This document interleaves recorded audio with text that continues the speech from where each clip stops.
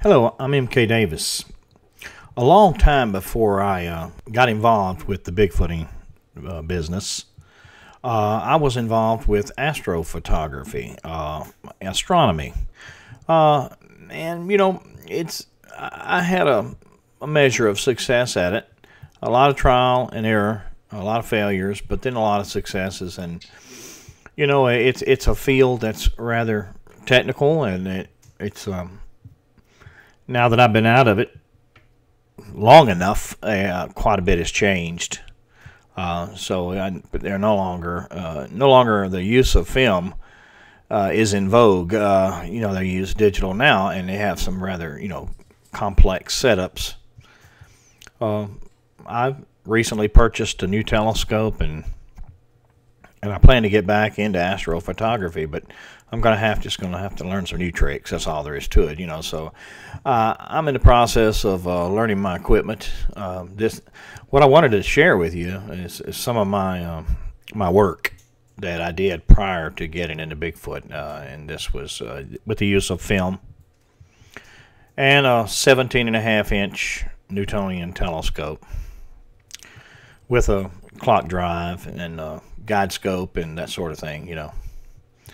And uh, you know, up above all of our heads is, you know, uh, uh, just a plethora of objects that uh, just absolutely amaze you. Uh, here's just a few samplings of them, you know, and they're within the reach of people like me. If you want to dig, you know, and I, and I guess maybe because I learned to dig uh, in in astronomy, and I learned, you know, how to use my equipment and how to take good photos and how to uh, clarify them and everything, and, and how this, uh, you know, sort of was able to transfer that over to the bigfooting business and uh, the Patterson film in particular, uh, and enjoy some measure of success. Uh, you know, it it um, it teaches a person something, uh, and you know, uh, since I'm re-entering the astronomy world, um, I'm going to, you know, you know, uh, have to get back into a business where it's run, everything is run very differently. Uh, so you know, it's it's astronomy is in some ways like Bigfooting. It's a lot of speculation, but then it's got you know hard science, and it's not as much in doubt. Uh, you know, uh, somebody uh, uh, uses you know digital enhancement in order to uh, in order to clarify an image uh, it, that doesn't raise all kinds of red flags you know like it does in bigfooting and no one's asking no one's raising the bar so high or asking impossible things of someone i hope that i can pick up where i left off uh, although i know it's going to take some time but uh, I'm looking forward to get back into astronomy, producing uh, uh, some a good product, uh, some very good and uh, stellar photographs. I'm very proud of the work that I've done in the Bigfooting genre, especially with the Patterson film. you know, it, it, it's a I'm a technician basically, and and I wanted to clear it up. Not a PhD, not a scientist. Um, or anything like that. I, I'm, if you want to say that I have a PhD, it, it stands for pretty hard-working dude. Uh, I, am hard-headed, and I'll stay at it if I think that I can improve it. Uh, and so, you know, I, I, brought that to the table. I brought my astronomy skills to the table. Uh, and now maybe, maybe I can take some something things that I've learned in the Bigfoot business and uh, and take them back to the astronomy world. Uh, and and see perhaps if, that doesn't you know help me somewhere along those lines, in a less controversial business. Uh, but anyway, I wanted to share some of my, my work with you. So here we go. Let's start. Uh, just take a look. Here's a great galaxy in Andromeda, M31. Uh, one of the, uh, it's actually a naked eye object. Uh, it's really uh, a stunning sight through a telescope. Here is the M42, the great nebula in Orion, in Orion's sword actually. Uh, I took this photo back in 1987. Uh, and I mean, you can see it's a very stunning you know object uh, when photographed, but through the with the naked eye or, or through the telescope, there's not enough light to see the colors, so you see kind of just a dimly lit object. Uh, this is about a 20 minute exposure. This great, uh, this great nebula is about 1,500 light years away, about 55 light years across. Uh, uh, in other words, the, the, the image was 1,500 years old when I took it. Uh, it's a stellar nursery. Uh, um, stars are in the heart of the thing. Uh, uh they're the engine driving it. Uh, the radiation from those stars are is irradiating hydrogen gas and oxygen. Uh, hydrogen gas, when it's irradiated, it's ionized. It glows red. the oxygen, on the other hand, when it becomes irradiated or ionized, it glows green. So you see in the nebula itself a, a mix of those two colors plus blue reflection nebula, which is just light reflecting off dust clouds. So you got kind of a mixed bag there in the Orion Nebula. It's nebula. It's it's one of the uh, the showpieces uh, of of the universe uh, and a stunning object. And uh, this is an object close by uh, the Orion Nebula. Actually, it's a very stunning object as well. Um, you'll notice when I zoom in, you'll see a line going across the front of it, and that's a satellite trail that uh, this is a timed exposure and the satellite just happened to come by about that time.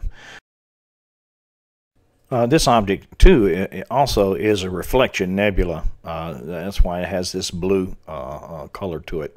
It's, uh, it's generally white light from the stars reflecting off of dust so that you can see it. And there's a lot of nebula out there that's not illuminated at all, and it's called dark matter. We'll, we can't discuss that right now, but it's all interesting.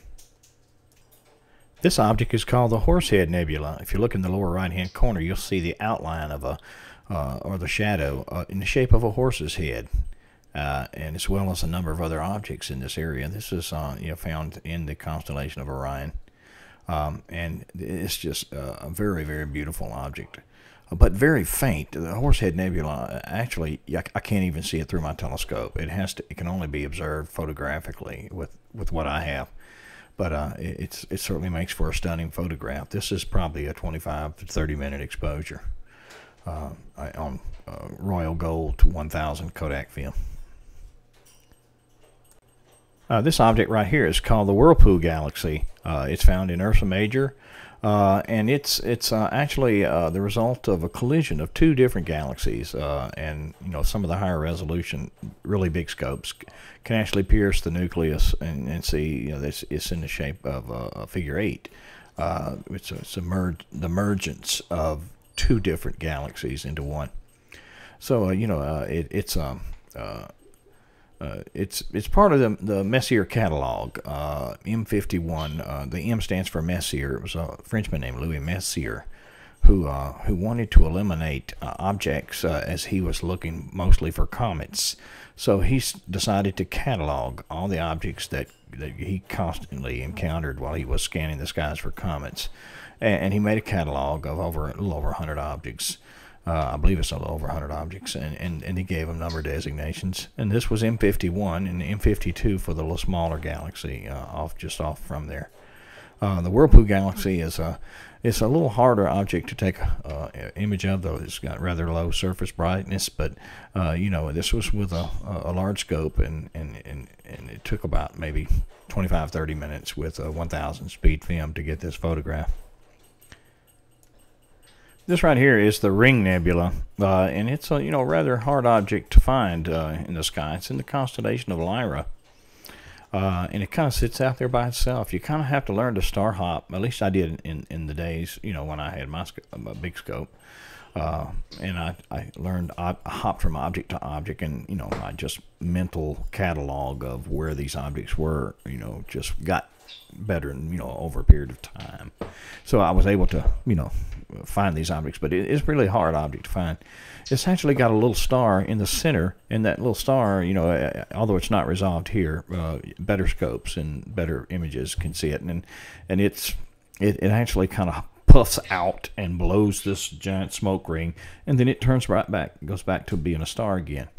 Uh, and and, it, and what you see is the, the debris field. Uh, it's just like a big gigantic smoke ring, but of other stuff. This right here is a Comet Levy. It was named after the astronomer, uh, the amateur astronomer, David Levy, who is more famously known for his uh, discovery of the comet that slammed into Jupiter.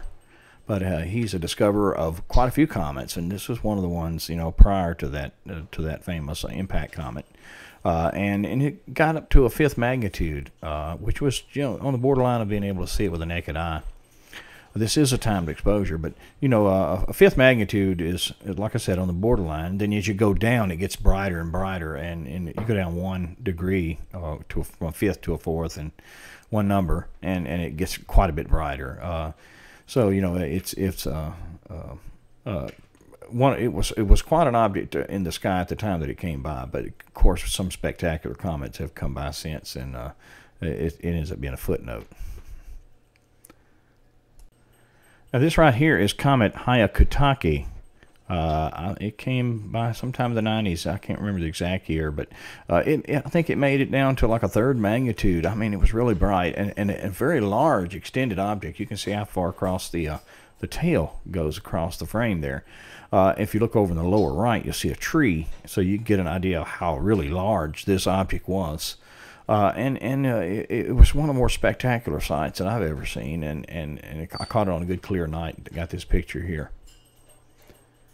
Uh, a comet is you know like a dirty snowball. It's described. It's, it's full of uh, ice uh, of different, not just water, but other elements in their ice form. And when they get near the sun, and the, the, the, radiation from the sun warms it and and sort of strips it away, and it becomes a vapor trail and then it catches the brilliant sunlight and, and forms this tremendous tail. Uh, and some some comets have distinctive colors, you know, green, blues, and all kinds of things like that. And this was one a really bright blue one. Very beautiful. I'm going to round out my tour with a, uh, an image of Saturn. And this was taken with just a little small scope, uh, a six-inch scope. I mean, the resolution is not that great, but you know, uh, Saturn is still a very interesting object, and, and, just to see that kind of symmetry out there in the space, it, it, uh, you know, the, the solar system is an amazing thing anyway. Uh, you know, with all the planets circling around the sun, they, they say that if the planets were not there, the sun would spin out of control and self-destruct. It, it's like a regulating system. You know, with all of those planets, you know, spinning around at different rates, different amounts of pull on different sides that it actually regulates the spin of the, of the, of the sun itself. At least that's what they say. So uh, you know, it's it's all fascinating stuff, and it just seems to be you know no end to what you can learn about you know things from, by observing you know what's out there in space. Uh, so I hope you enjoyed these photographs as much as I have, and, and, and, I enjoyed taking them, and I look forward to taking you know some more with the digital equipment that I bought. So uh, I'll, I'll uh, and also look forward to more Bigfooting stuff. Uh, that, that, they say there's a lot of good stuff to come, and I, I hope that, that that's correct. At any rate, uh, thank you for your time.